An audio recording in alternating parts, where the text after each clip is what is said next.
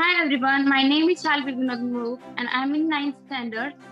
And today is my today I'm gonna speak on a topic which if I were a principal for a day of my school.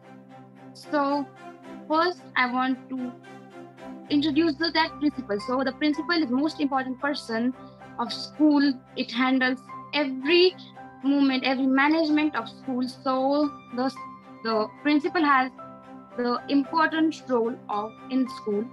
So first thing I want to change about my school or my school is about a subject management. You know, if I always think that if a if a teacher can only teach one subject, so why the why the every student can learn have to learn that every subject.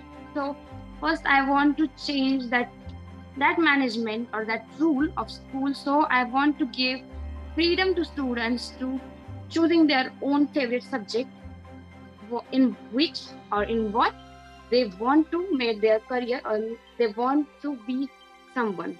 So, and the second is I want to encourage the students if if they they wants to give in a art field if, and it's my it's my own experience that I I like to I like to do art and I I like to do paintings I like to play.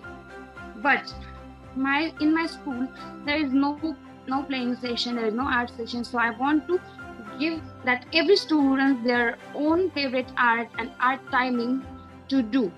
I am not against the subjects but I just want to give students their own freedom to encourage themselves from a good artist or some that their idol which they want to be. So that was there.